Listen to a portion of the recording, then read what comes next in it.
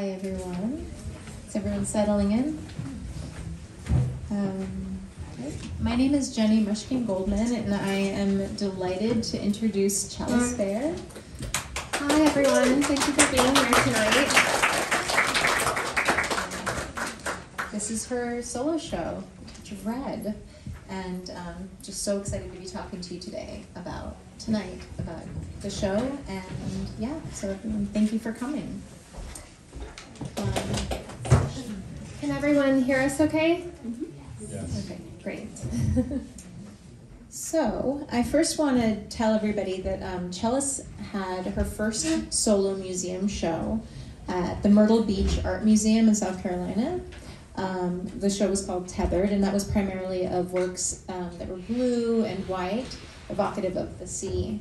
Um, and I'd like to ask you, Chellis, um, about the title of this show, The Touch of Red, and tell us about the title and what inspired you to make a series all in this fiery color. Thank you, Jenny. Yes, so as some of you may know, my favorite color is red, and it's my signature lipstick. And I've always wanted to do a show inspired by the color. Red has such a complex history and um, expresses such a wide range of emotions, and I love how versatile it is. And my work has a lot of versatility to it in the way that I drape and twist and expand on the world of fabric and textiles. So, um, when I was first thinking about this show, Ben Hartley, the director of the National Arts Club, had recently given me a tour of the spaces down here. And I just fell in love with the way that this room in particular felt almost like the core of the building because we're very centrally located and there's not a lot of windows in the gallery itself, so it feels very intimate and warm. And so I felt like it would be the, such a great way to present a collection of work in red. And I was also really touched by the application of applying lipstick daily. And you know, during COVID, we couldn't see a lot of our lips, so it was exciting to be able to share that um, in this exhibition. So thank you everyone for coming. Oh, great, there's more people trickling in. Hello, everyone. There's a couple seats up here. That brings me, you know, to my next question about um, your background in fashion, which you know definitely has links to the beauty industry and lipstick, and um, also your background in dance. How has that influenced um, your body, your work in general, and this body of work?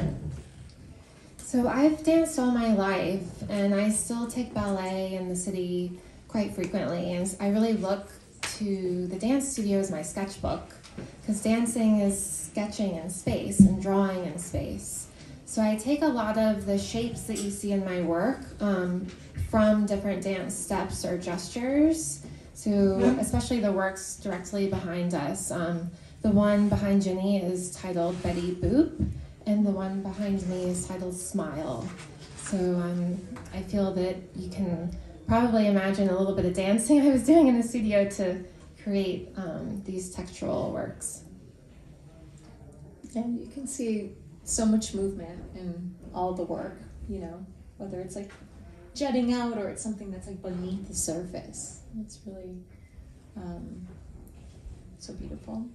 And but uh, your work has now you've expanded upon your practice um, because this is quite different than kind of your signature, very textile based work. Um, so, uh, what led you to expand to, to different mediums, like such as the casting and, and Yeah, so um, red is a very bold color. And so as I began to create these works, I started thinking that some of my previous works that some of you may be familiar with are a little bit more detailed and like smaller in scale um, and have a more more of a woven um, textured surface. I wanted to be a bit more bold in my gestures in response to the color and to create shapes that are larger and can expand um, a stronger and more bold gesture. So that's what led me to um, also partner with a foundry and start to create works that are hard. What was it like to work with the Foundry for the first time? It's kind of like dating. I was trying to, it was the first time I was, you know, entrusting someone else to help me execute my vision. And I just had, took a lot of meetings in the city with different foundries until I found someone that I felt like could really help me bring my vision alive. And so, like, for instance, um, the work you see on the middle wall here that's red with a little bit of gold leaf from Florence, Italy. That is a cast and plaster, and the same work is featured on the wall in the, the back corner with the text um, in bonded aluminum. And it's also featured on this wall here in plaster.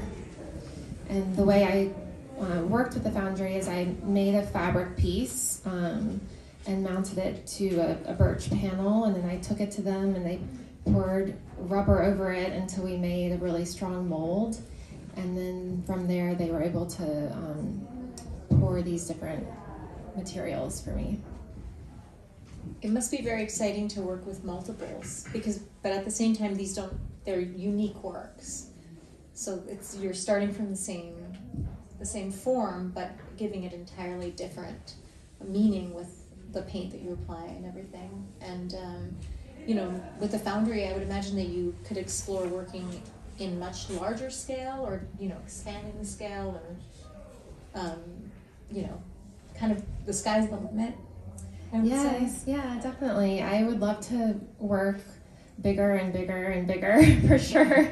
Um, and working with the foundry was really exciting and um, it was wonderful to also, like this one to my left is resin, and the same pieces featured to the right in acrylic um, with the plaster base. And I think it's so interesting to be able to take the same composition and offer a really different um, facets of it, similar to red itself, um, as I described earlier.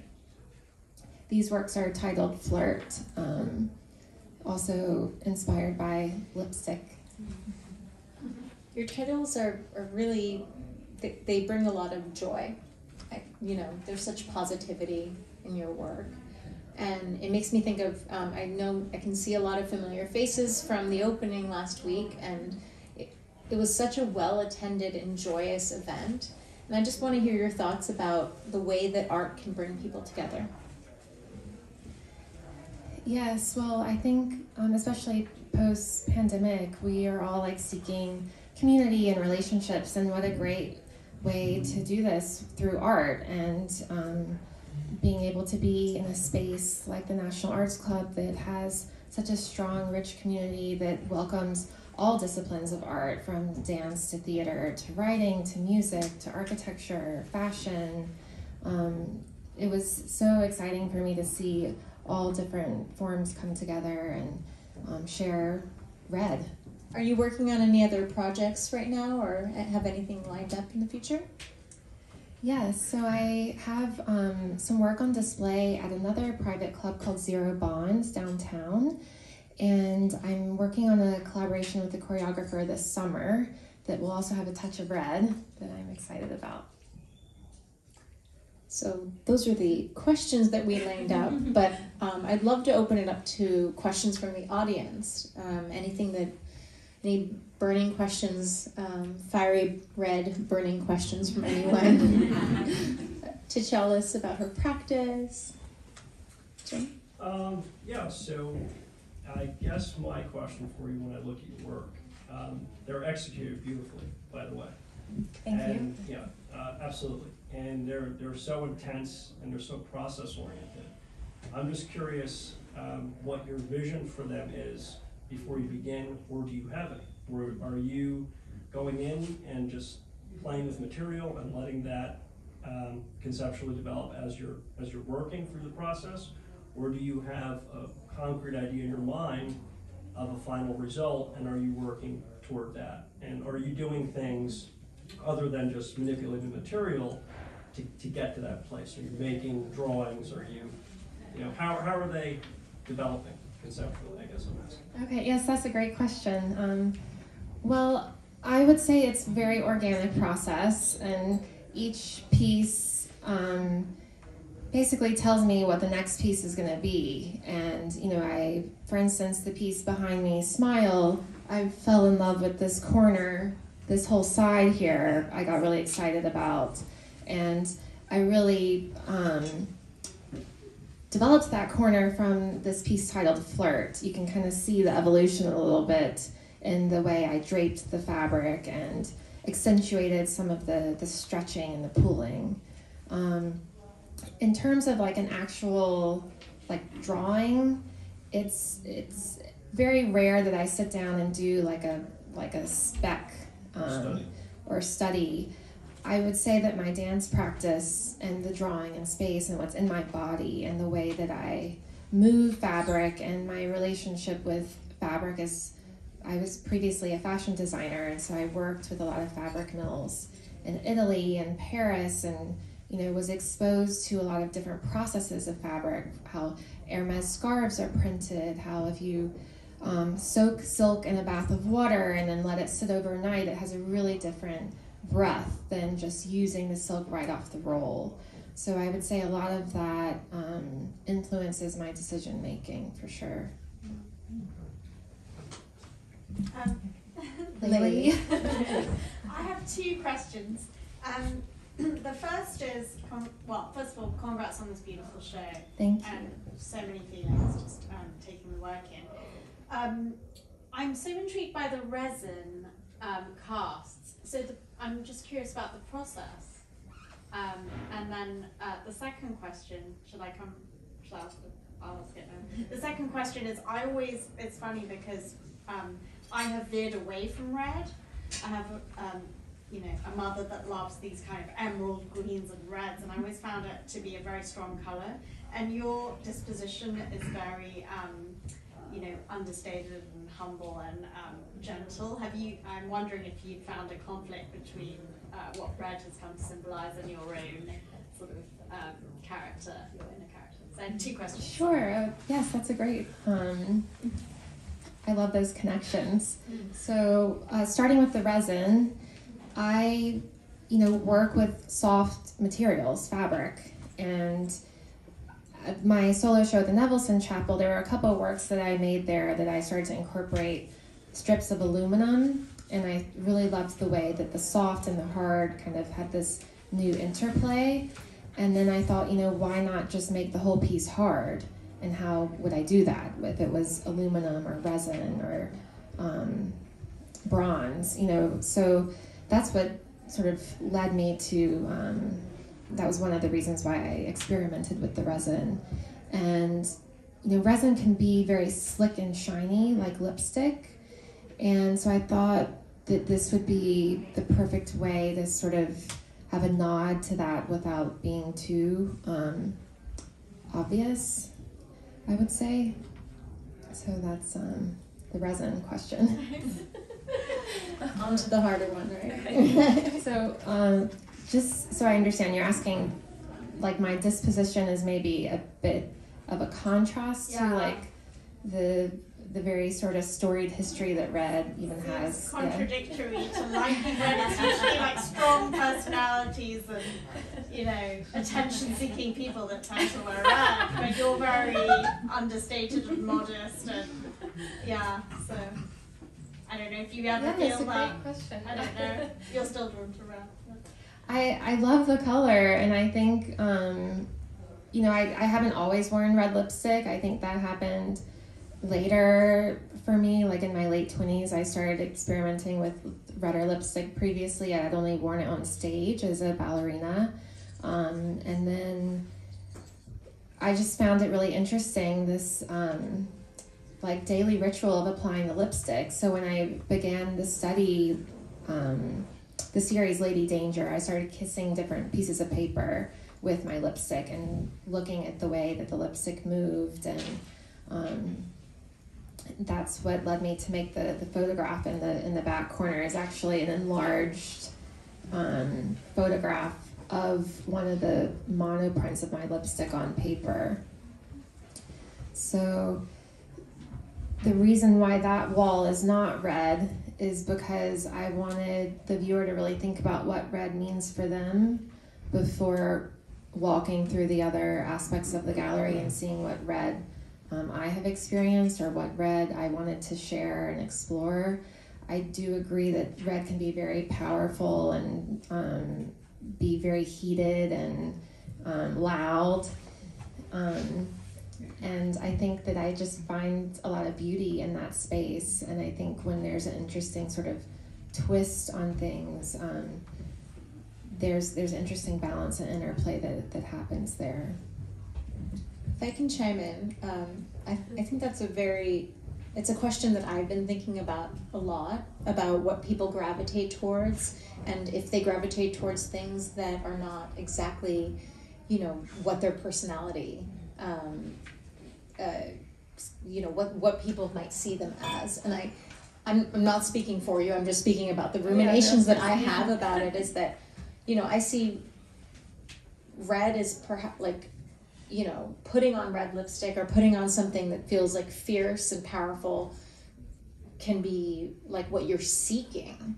You know, like if you are more polite and you, you know, as as Chellis, a lot of there are a lot of Chellis friends and fans here. I, I I know that. Uh, yeah.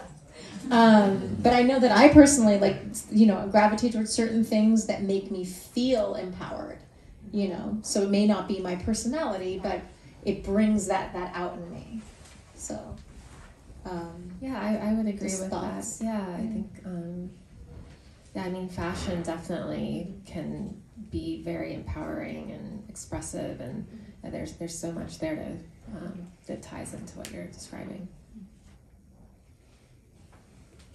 Freda? A lot of times art imitates life. So, in what way have you incorporated your own personal experiences into what we're seeing today? Because you have such a bold and beautiful personality and strength of character, and of course, you're now a mom. How does that like become what we're seeing here today? Um, well, I'll, I'll talk about the piece behind Jenny that's titled Betty Boop. So, for me, um, Betty Boop is what I used to call my grandmother. And she was quite the steel magnolia, um, being from the South. I'm originally from South Carolina, for those of you that may not know. Um, my grandmother had six children and never learned to drive, always walked to the grocery store in high heels, and um, wrote lots and lots of letters and um, was very diabetic, but still ate chocolate all the time. and she just was very sweet and sassy all at once, which for me is like what red is. It can encompass the the dangery, more fiery, seductive, sassy quality while also being very sweet and beautiful and almost like a rose. Um, and also just you know in, in pop culture just thinking about betty boop i always think of her as wearing like a strapless red dress that's very circular and she's you know has short arms and is maybe a little naive but um, there's something so fun about her character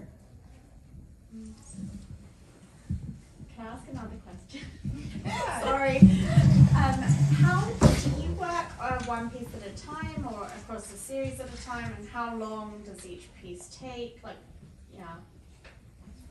So the smaller works take anywhere from two to six weeks, depending on the material and um, life, I guess. um, this was actually the first show that I had to work on multiple things at once. I don't typically do that because I feel to give a piece my all, I really need to only be working on that one piece at a time and let that piece uh, lead to the next. But with the foundry relationship and timing i had to sort of do a new choreography and a little bit of a tap dance. So i would say that the resin works um, kind of came in early but were a, a consistent tempo in my in my practice while working on some of the larger pieces I have a question. Yes. Uh, well, first of all, congratulations on the show. thank you Yeah, my question is, um, you seem to get a lot of inspiration from from lipstick. So beyond the ritualistic nature of lipstick, what else does it uh, represent, or what other meaning does does lipstick carry to you? So the Lady Danger um, works are titled after my lipstick, Lady Danger by MAC Cosmetics. And I was thinking about how wearing that lipstick changes at different times of day. And so, for instance, the piece directly behind you in the gold leaf frame, that I think of as like early morning lipstick, like the sun is rising and you first put it on and then you look on the opposite wall, Lady Danger 2 in the black mahogany frame. That is more of like a 2 a.m. dark red lipstick. You're revealing a little more about yourself,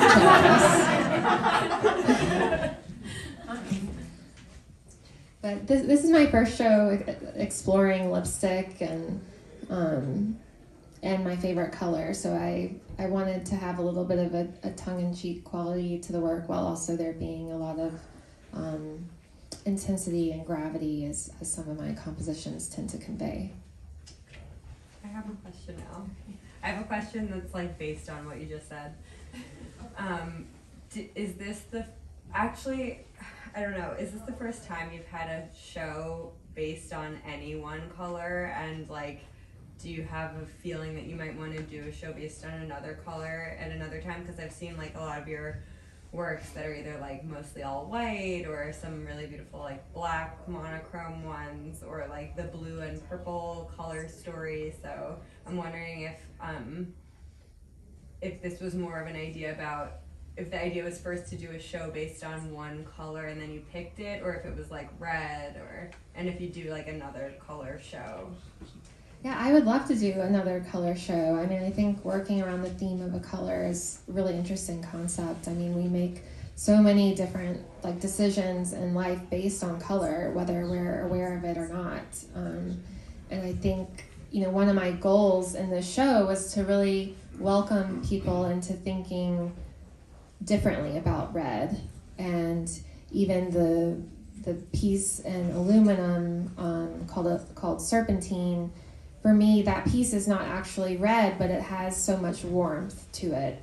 And, you know, red lingers. And I feel like there's so many ways to discuss color in the, in the context of my work that I would absolutely love to explore.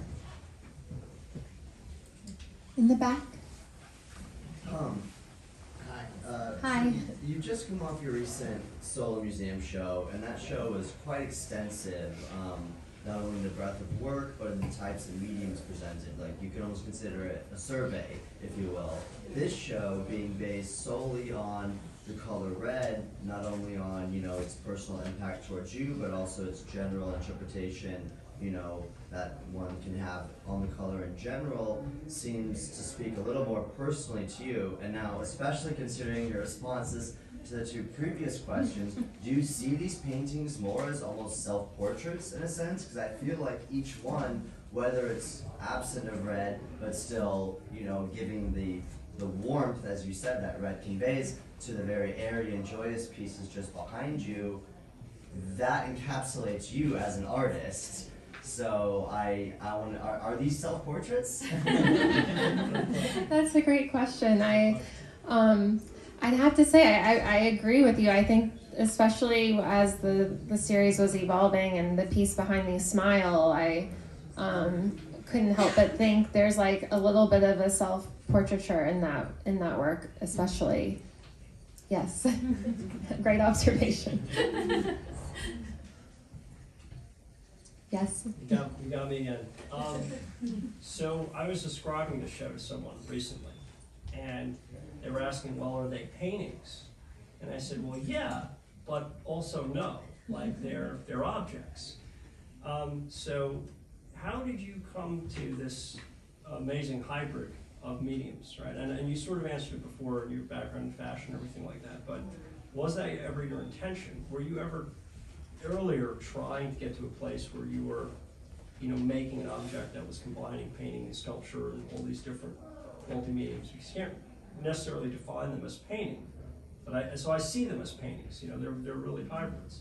So was that ever an intention on your part, or did that happen organically? Were you ever, you know, making traditional painting and it, and it evolved into this, or, or traditional sculpture and it evolved into this? So how did those two come together to get, you know, formally what, what we're seeing now? Yeah, so that happened very organically. Like I, um, while I was a designer, I had a really strong painting and drawing practice of my own on the side, and I was painting in a more traditional color field style. Okay. Um, I loved color, and so I was just doing these big splashes of color and thinking about how layering paint on top of itself was sort of like weaving and sort of like draping the human body in fabric as I was doing in fashion with, with clothing design. And then at one point, I was like, why am I buying this duck canvas that I'm supposed to buy at Blick because of whatever? And when I know so much about fabric and I have such a love for fabric and such an intimate relationship with fabric, what would happen if I literally just punch through the canvas and start making my own ingredients of what a painting is for me? Got it. When was that? That was about seven years ago. I encourage everyone who doesn't know Chellis's um, full body of work to look back at um, earlier works that are made out of fabric, and, and it really gives the sense of the the softness and um, how she how her practice has evolved over time. You, it's fabric coated in wax. A lot of a lot of your works, right? Yes, so to give I. it the bending, Mhm. the ability to bend. I was making um, at one point. uh, I was really interested in encaustic. I basically left the fashion industry and was like, I'm just gonna go for it, and um, started. Just I was like, so I need to learn a new medium. Like I took a break from oil painting and acrylic painting. I was like, I should just try something new. So I took some workshops at the Art Students League on encaustic, and I'd always been fascinated by Jasper Johns' works because my grandmother used to play bridge with his mother at Edisto Beach. And so I always had sort of this, I like tied to encaustic. Um, and then I learned that you could also take encaustic and make it a print. And you could also do those prints on fabric. And then the wax actually gave the fabric more integrity and allowed me to manipulate and sculpt the fabric as I had um, previously. And then I just sort of, it just opened up a whole new window. So they're very much wall sculptures because Jimmy, you were talking about, you know, that desire to, um, you know, give a category to art, but it, they're also very much paintings at the same time. So it's, um, They, they speak to both incredibly so. I mean, they're not, I mean, I see them as paintings, but they're, I mean, they are paintings, but they're not. It's amazing. It's like, they trick me. I look at art all the time. I'm like, it's a painting, it's not a painting. I don't know what to do. But that's a compliment, that's a compliment. Rose. Great. Were you ever tempted, um, on that note, like throughout the process, to go just full 360 sculpture and like leave the wall? Yes, that has actually happened. I was like literally wrestling with a piece because it wouldn't stay on the wall and it kept falling off the wall. And so I was like, damn it, it wants to be in the room. um, and I made it into a, a sculpture. It's in my studio. So I, I would love to experiment with that. It's um, sculpture is incredible and also daunting because then you have to go all the way around all the time. Um, I can't But- imagine seeing these in like a 360 form. Yeah, it would be really beautiful. Thank you. maybe the next show. So related question, what makes you frame certain of your pieces in boxes and other not? And um, they're really organic pieces that stand on their own and putting them in a frame, it's, because so what, what makes you decide to do that on certain pieces and other not? Well, I mean, all of my works can stand without a frame or with a frame. Um, I the works that I chose to put in a frame I felt like it would be it would add almost like this own little house for the work. Um, so again, like the relationship I have with my foundry, I worked with a frame shop that I really trust and admire and, and know can help me execute the right kind of frame for, for the piece. So I I work very closely with them to um, to make each frame. Hi, Chellis. Hi. Beautiful show. Thank you. Um, let's see, I have a couple of questions. One is how do you how do you feel about the difference between the cast pieces and the non-cast pieces? Because I feel like uh, obviously the cast pieces they have a little bit more weight, but the other ones seem to be able to have more cracks and crevices, and maybe you can dive into them a little bit deeper. Um, and the other part of the question pertained to um, what the gentleman back there was saying about them being self-portraits. And I, you know, I hear everything you're saying about related to lipstick and fabric, but I also see a lot of muscle and sinew, which is sort of like the internal self-portrait. And if you could speak to that a little bit. And then the other thing is, um, it's all about red, but I see a lot of different reds. And if you could talk about how many different reds you're using, there's warm reds, cool reds, and maybe what pigments you're using. Oh yes, yes. Um, so sorry, the first question was about the foundry, right? Mhm. Okay. So um, I think that sometimes my work has a bit of an internal or an external um, evolution. And like for instance, the works behind Jenny and myself, um, I wanted those works to have a lot of air and breath and to have a bit more whimsy and um, playfulness and that sort of facet of red. So I knew that these would be executed by hand and not with the foundry because I didn't want them to have the same kind of gravity. Right. Um, versus the the works I chose to make with the foundry, I wanted them to have a very strong gravity on their own. Um, some of them don't weigh as much as they may look, but they they offer that kind of presence, which is what I was going for. Yep. And then, sorry, the, the other question was about the paint, right?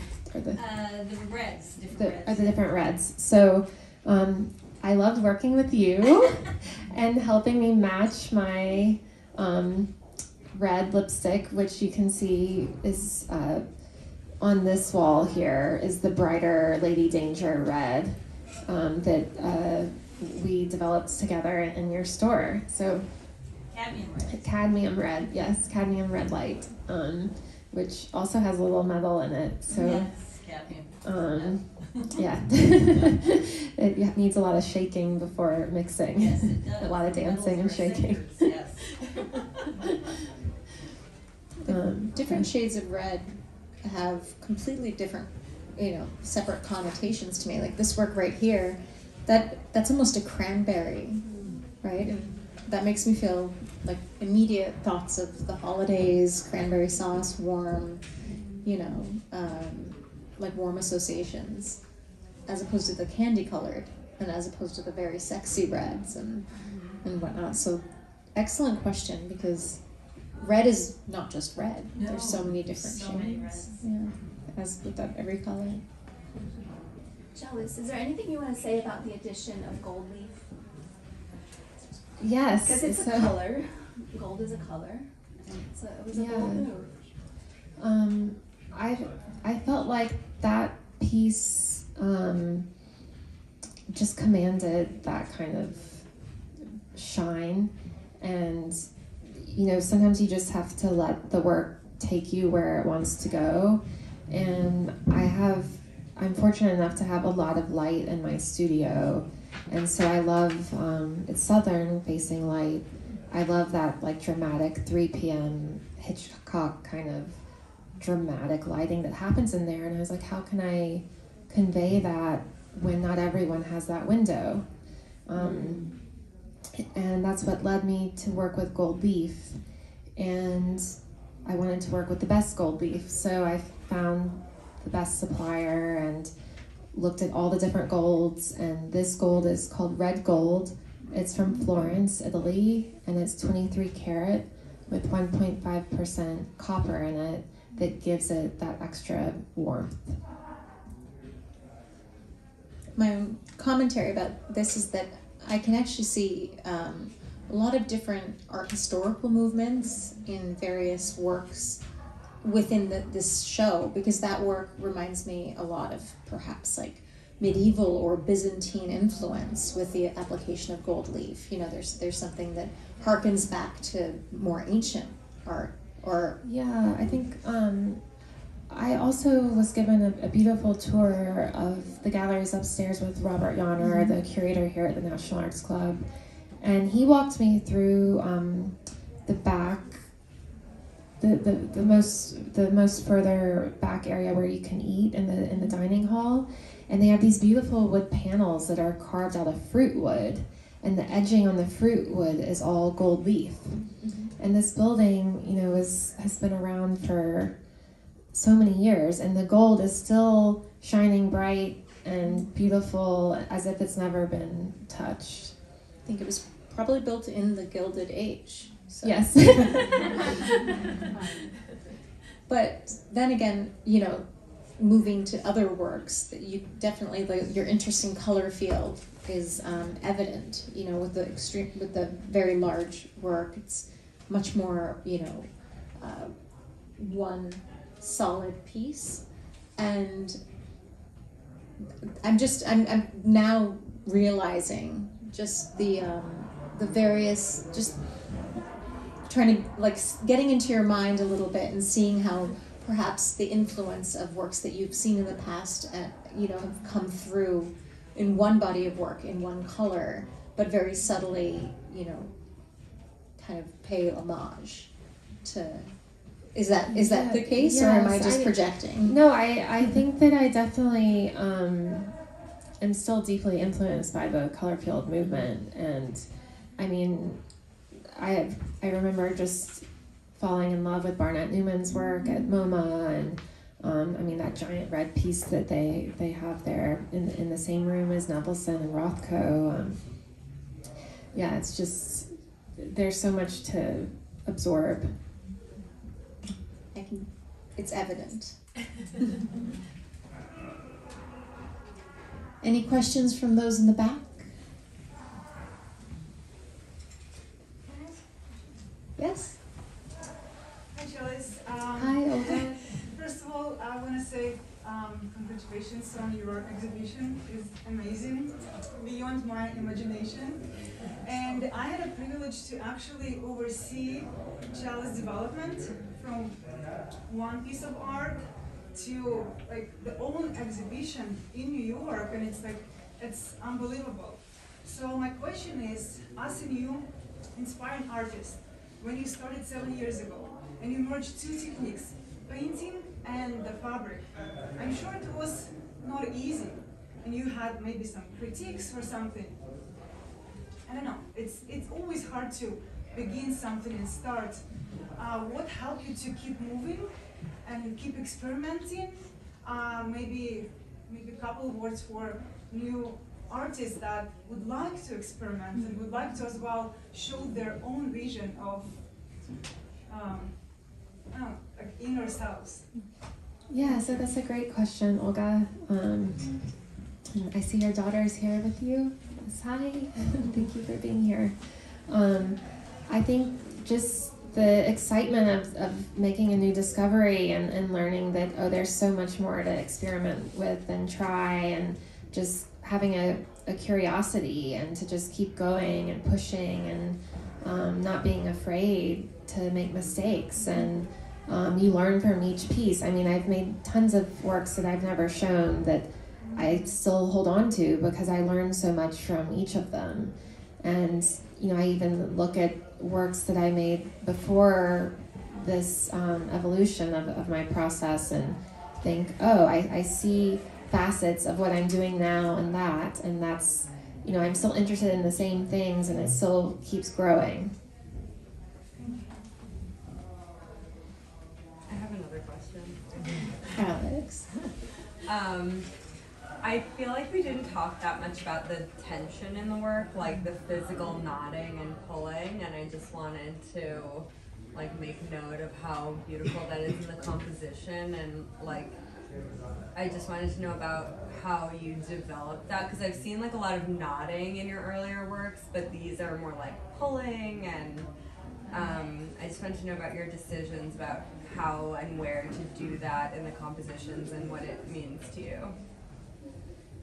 So I, I would say it definitely um, is influenced by dance. I mean, I think that you can see a lot of the the stretching and the pulling and, and these kinds of like different gestures that one makes to reach or um, create a space or a feeling beyond um, the typical maybe uh, shapes. Yeah. Just realized, are people in the back, can they hear the questions in the front?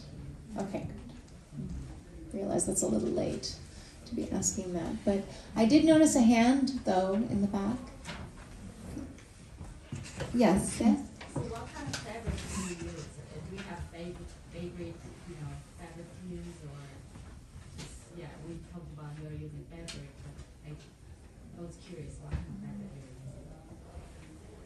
Um, so like the largest work in the room, which is titled Everlasting Red, that piece is like 90% cotton fabric, um, different types of cotton gauze.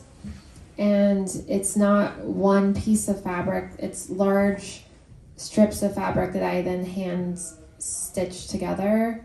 Um, and then there's larger cotton ropes and piping behind that surface as well versus um, the lady danger in the gold leaf frame and in the black mahogany frame those are both silk so i would say cotton and silk um, are primarily what you see in, in this show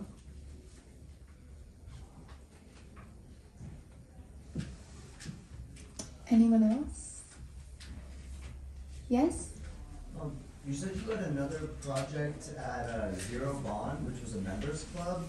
If you're not a member, are you still able to see the works? Great question. That's a great question. Yes. um, yes. Uh, please see me if you would like to view those works, and I will set up a, a walkthrough for you. But um, do it soon. When is it on view um, it- it's on view for a couple more weeks. So, sorry, there was another question here. Or...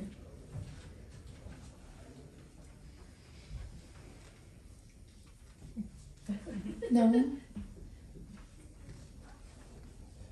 Well, um, this was a wonderful talk.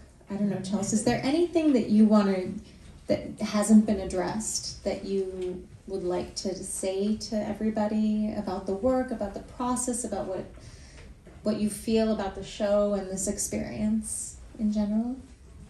Um, well, just thank thank you for coming. I mean, this was really fun. I hope everyone got something new about red for for themselves to take home.